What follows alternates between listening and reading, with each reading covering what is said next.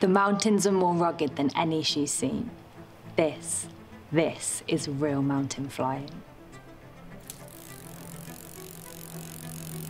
She should turn around, be on her way back to Montana.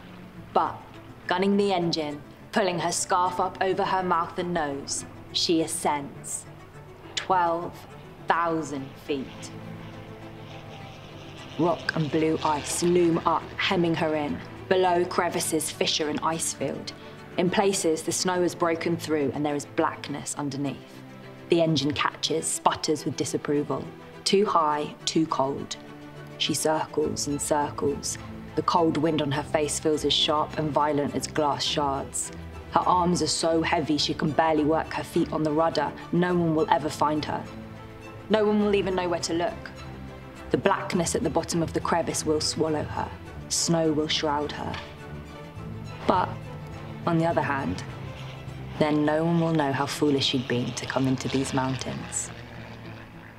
She will not give them her broken body.